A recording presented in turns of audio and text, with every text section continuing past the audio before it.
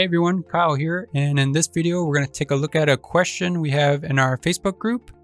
And this question is by Sean, and he wants to know if we can trace this handwriting here that says Love Holly. Now, as you can see, he tried doing this in, I think, Inkscape, and he was having trouble getting all the detail in here.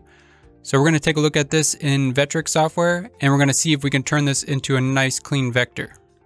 So I already saved this image to my computer, so I'm going to close this out. We're to go into our Vectric software. And the first thing we're going to do is we are going to import a bitmap. And you can see his image is right here. So we're going to select that and click open. And that'll import the image right to the center of your job. So we can zoom into that.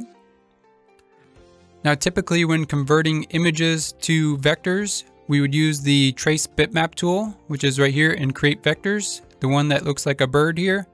Select that and you would adjust the settings here, click preview, and that would automatically trace what we have here. But as you can see, there's a lot of detail missing here. So in this case, we're going to have to actually manually trace this to get the best results. So I'm not going to save that trace we just did. I'm just going to click close and that'll disregard that. So now we're going to manually trace this with our drawing tools here. And you're most likely going to have to trace any kind of handwriting because usually you cannot get a nice high quality image from the handwriting. So that's going to be the technique we're going to take a look at in this video. So a quick tip before we start tracing, you can see when you select an image, it gets darker, and then when you deselect it and go to start tracing, it gets lighter. Sometimes that works to your advantage, but sometimes it's too light where you can't see it. So the way to darken an image without having it selected is first we have to select it. We have to right click and come down to object properties. And then right here, you can select where you want your fading to be. If you go all the way up, you can see you can barely see it. If you go all the way down, it'll have no fading even with it deselected. So when you're tracing, you can play around with this fading as much as you like, turning it up and down however you need it. In this case, I'm going to switch it back to about the default here, which is about 52, and click close. And if we need to change this, we can.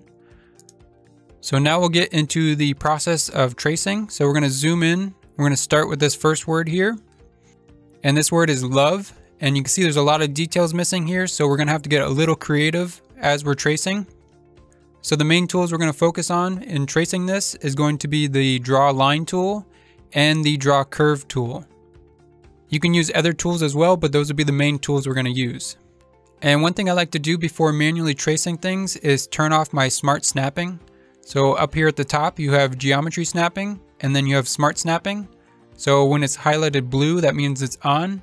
If you click it and it's not highlighted blue anymore, that means it's off. So we're going to turn our smart snapping off that will give us a little bit more freedom and it won't snap in vertical or horizontal positions. So let's take a look at the draw curve tool first. So you can see when you select that, it looks like nothing happens, but if you bring your cursor out here, you can see now you can draw curves with your cursor. So to draw the curves, first I'm going to zoom into this first letter here using the scroll wheel on my mouse. And if you hold in the scroll wheel, you can pan your view left and right, up and down. So we're going to select on the edge of our shape here and we're just going to click once and that's going to create the first point. and then we can come down and click at another point. and you can see if you tried making a sharp bend with your draw curve tool uh, in this case it looks like a piece might be missing here I'm not sure but if it's not we can always remove that later but if you click out here you can see how much of a curve that makes and if you try to continue on you're going to see that no longer follows the shape up here so there's a few ways you can avoid that. I'm going to hit the escape key to end the line there. And I'm going to do control Z to undo that. Now we're in our regular selection mode. And if we want to go back to the draw curve tool, just hit the spacebar on your keyboard. Now we are at the draw curve tool again. So if we were to trace this top portion here and come around and then come down right here to this sharp corner, if you hit the spacebar, that'll end the line there.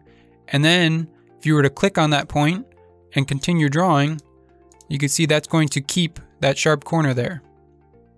And then when you come back, coming around, you just keep clicking here. And then if we come to another sharp corner, we can click and hit the spacebar again and keep on doing that same technique every time we reach a sharp corner there. And that'll keep all the curves right where you place them as you go along. Now that we looked at the curve tool, let's click escape to get out of that tool. And I'm gonna do control Z to undo those two lines we just created. Now we'll take a look at the line tool. So if you click the draw line here, that's gonna open up this form here. But we're not gonna use this form here in this case. We're going to manually trace like we were doing with the curve tool. Except in this case, the draw line tool will draw nice straight lines. But if you're using Vectric 10.5 or above, you will have the ability to draw curves and lines with the line tool.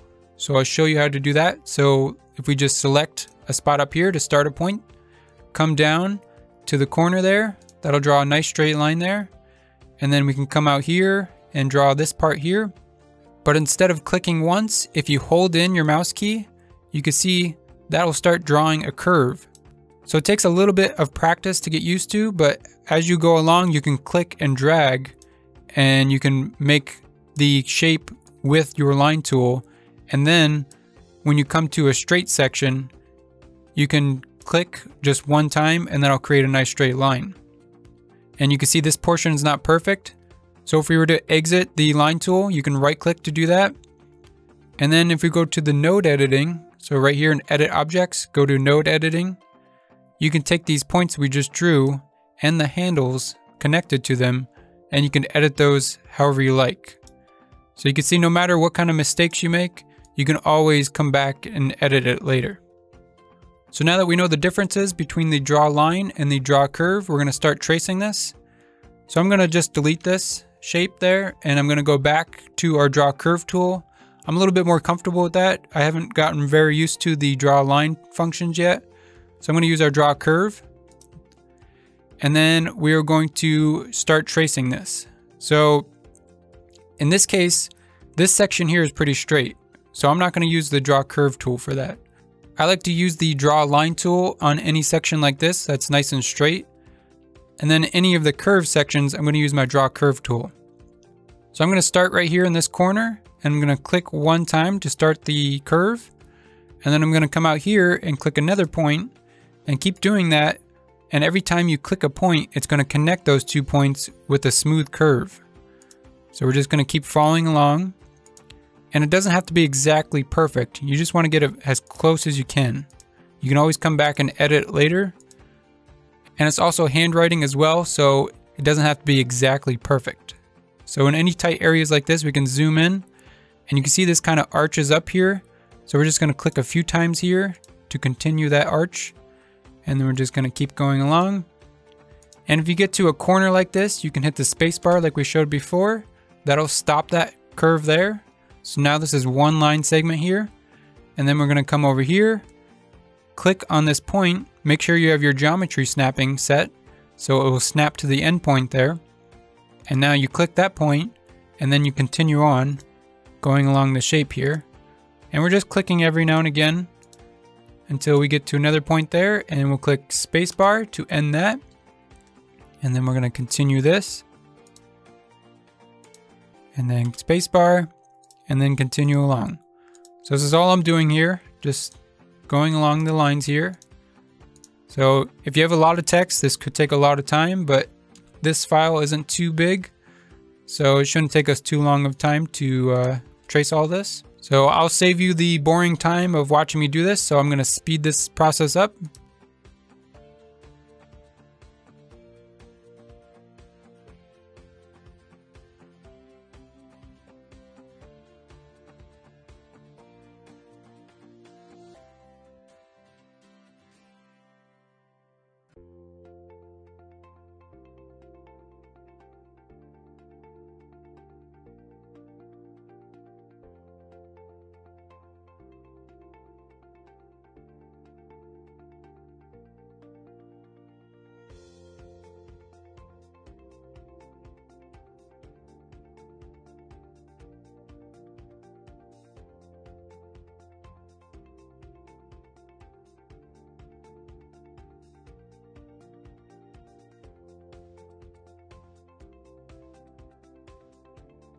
And you can see now we made it back to the beginning.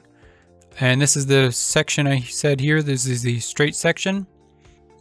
So in this case, I'm going to use the line tool. So I'm going to go to draw a line.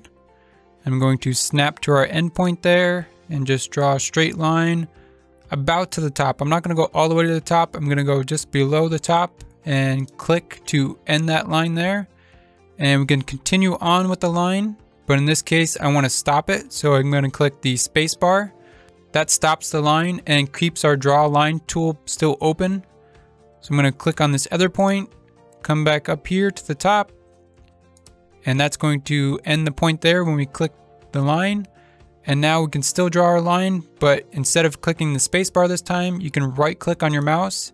That will end the line and close the draw line tool up. Now you can see we have an open section up at the top here. So to connect those two together, I'm going to hold the shift key and select both objects there. And I'm going to use this tool down here in our edit objects it's called Join Vectors with a Smooth Curve. And if you click that, you can see that automatically draws a nice smooth curve connecting those both together. And you just got to be careful if it didn't close on this end, it may have closed on the opposite end because that's open as well. So if that's the case, you can just close both ends and then trim the end you didn't want. You can trim that off with your scissor tool or your node editing. That tool is going to join the two closest points together first. And then if you were to click it again, you can see it joined together down here. But we don't want that, so I'm going to do Control Z to undo, and now we just have the top here that we wanted. So now that we have most of the shape all traced, we still have to come back and get any spots we missed, like the inside of these letters here. So I'm going to go around and do the same thing using our same techniques. So we're going to go to our draw curve tool and I will speed this up for you.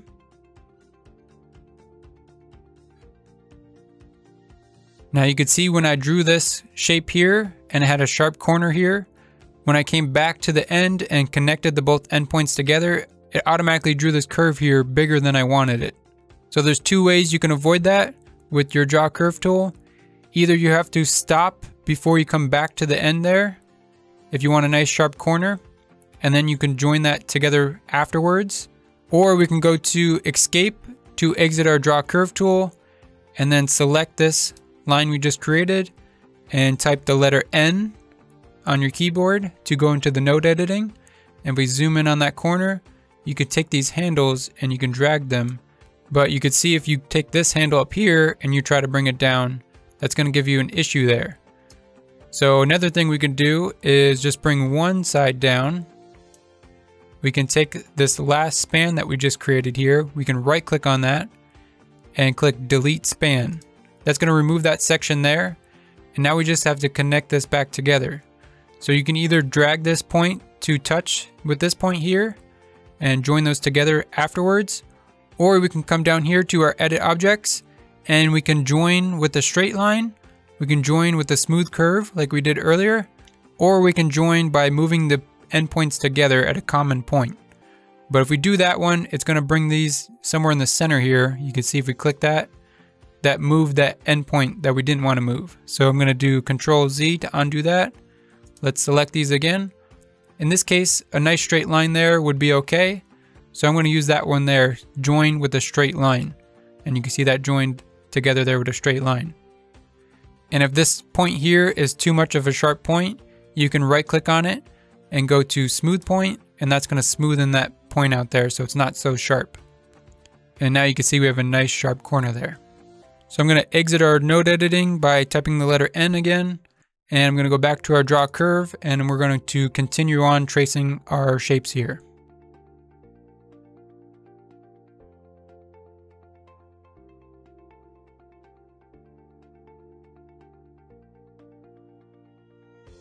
And now you can see we have just about everything traced. And we can confirm that by deselecting our picture there and your picture is actually put on a separate layer called the bitmap layer. So if you hit the little light bulb here, that will turn that visibility off. And now you can see we're left with just the vector shape that we just created. And then we can turn that other layer back on and you can compare, make sure you got everything. So it looks pretty good. Now the only thing we have left to do is join everything together.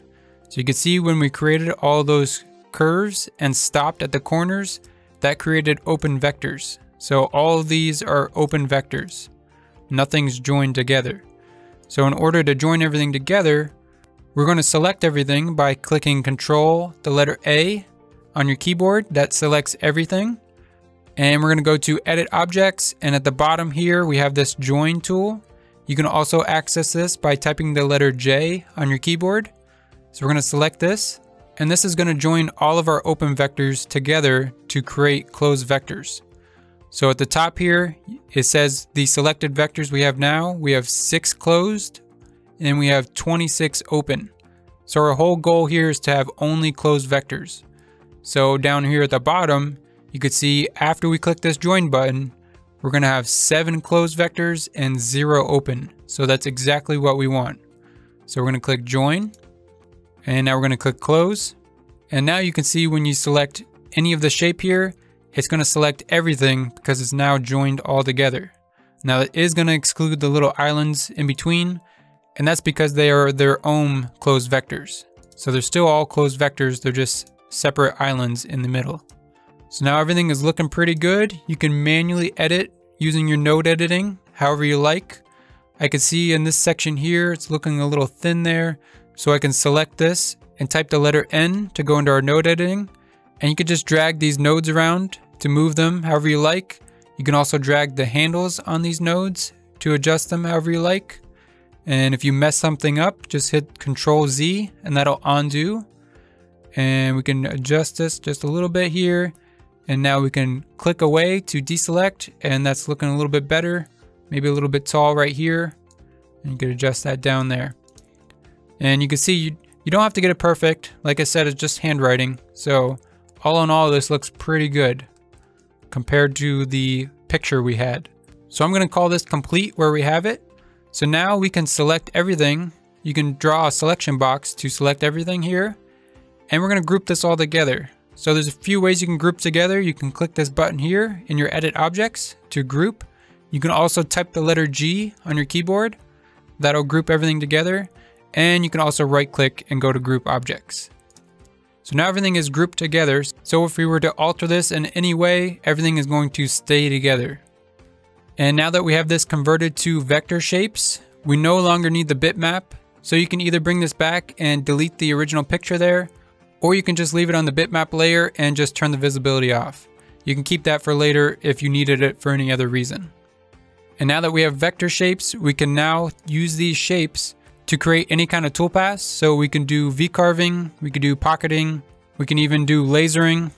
We can also select this and go to File, Export, and you can export it as an SVG file. So we can use this in almost any kind of vector-based software. So now we're just going to go over to our toolpath tab and we're going to create a simple toolpath for this. So we're going to select this and go to V carving. And we're going to use a 60 degree V-bit. We are not going to set a flat depth because this is very thin here. So we can just use our V-bit to control the depth. And we're going to, we don't want to project on the 3D model and we don't want a clearance tool. So we're going to just select our 60 degree V-bit and click calculate and we're going to preview selected toolpath and we're going to fill that in with the black color and there you go. That's what our finished carving will look like. And of course, after we created the vectors there, we can now move, scale, rotate, or do anything you like with this text. If you found this video helpful, make sure you subscribe to my YouTube and check out my website, learnyourcnc.com for more.